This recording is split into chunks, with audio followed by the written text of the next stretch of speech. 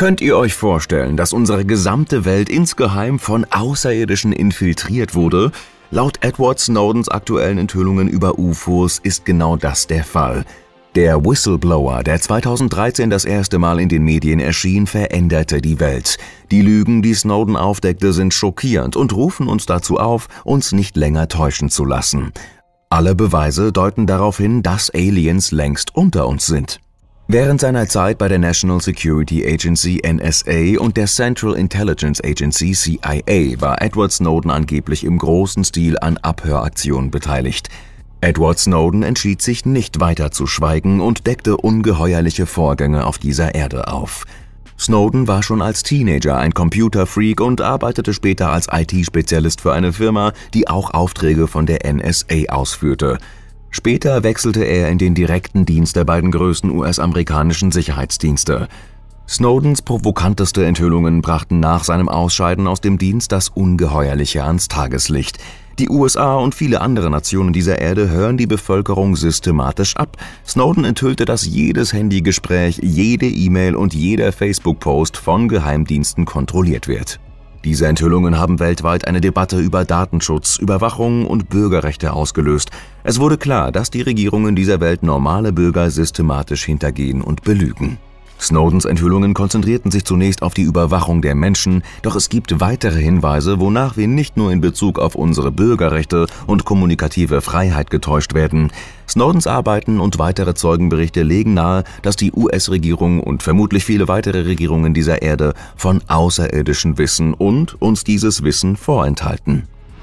Woher kamen die grünen Lichter über Europa? Ein Beweis für Aliens, der als Foo Fighters in die Geschichte einging, sind mysteriöse grüne Lichter, die in den letzten Monaten des Kriegsjahres 1944 über Europa auftauchten.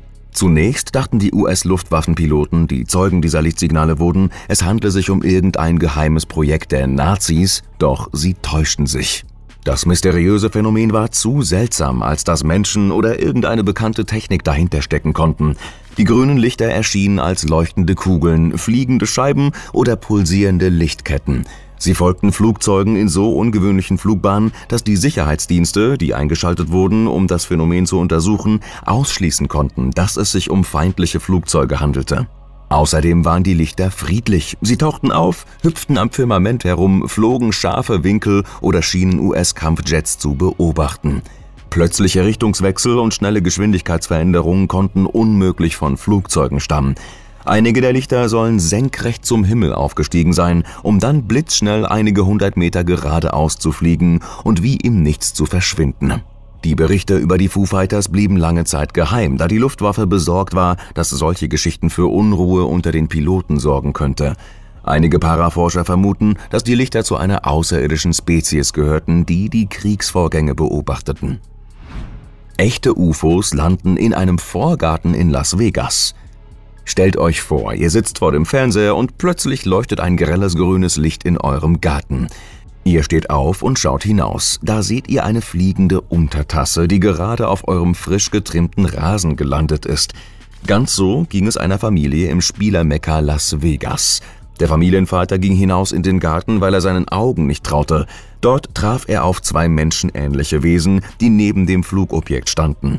Das metallische Gefährt glänzte im fahlen Mondlicht und versetzte die Familie in einen Schockzustand. Der eine Außerirdische starrte den Vater an und schien ihm telepathisch anzuweisen, Ruhe zu bewahren und Abstand zu halten.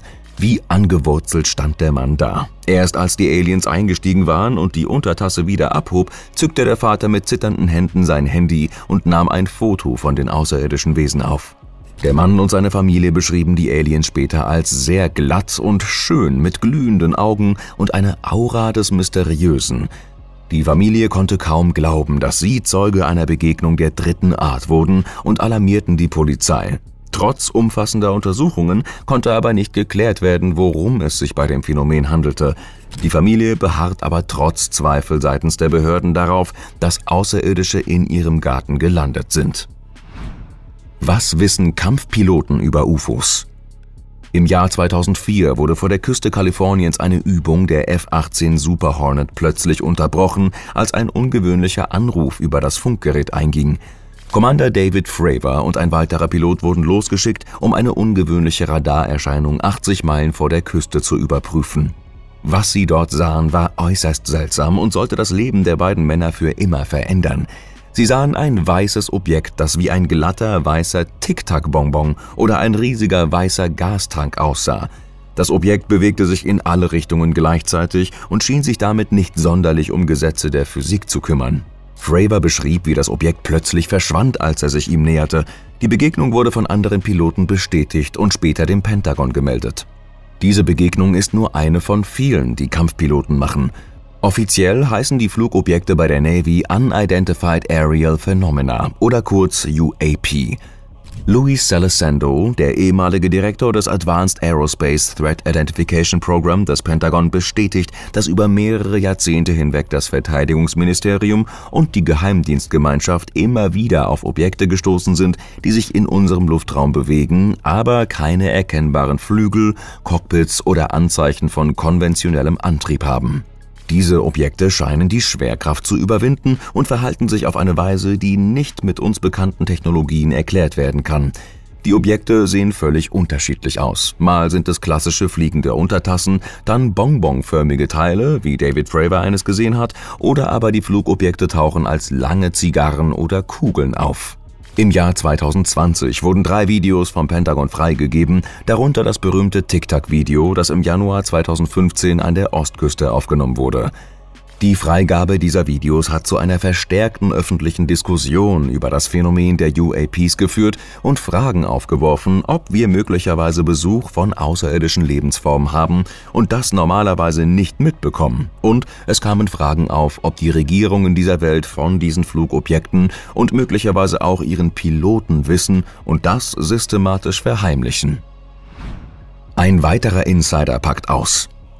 Luis Elizondo war ein ehemaliger Geheimdienstmitarbeiter, der am Advanced Aerospace Threat Identification Program AATIP beteiligt war. Im Rahmen der geheimen UFO-Forschungsprojekte des Pentagon untersuchte Elizondo mehrere fantastische Sichtungen von UFOs. Mit seinem Wissen durfte er aber nicht an die Öffentlichkeit gehen.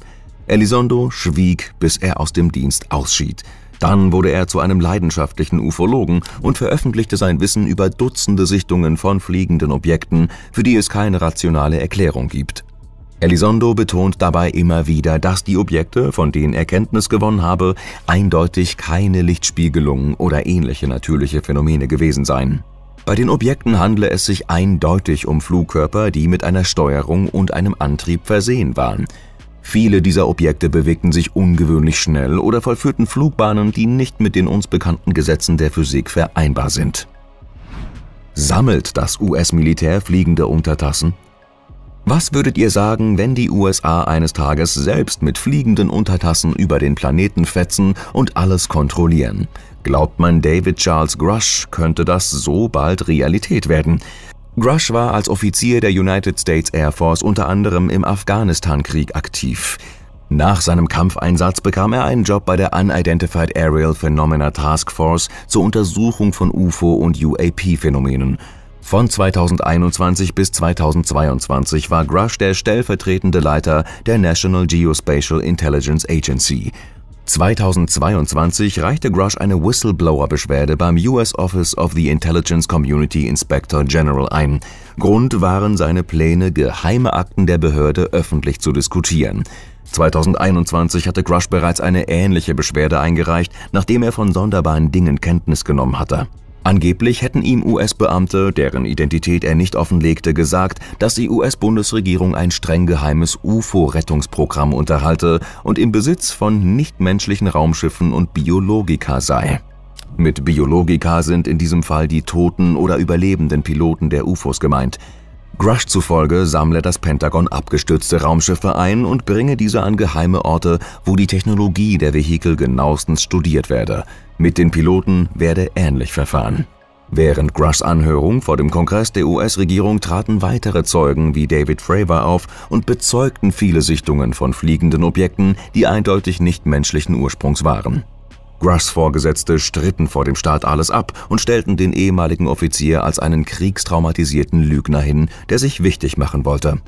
Grush hatte nach seinem Afghanistan-Einsatz eine Weile unter Depressionen und Alkoholabhängigkeit gelitten, doch er bezeugte, dass dies nichts mit seinen Ermittlungen im Falle der UFOs zu tun habe.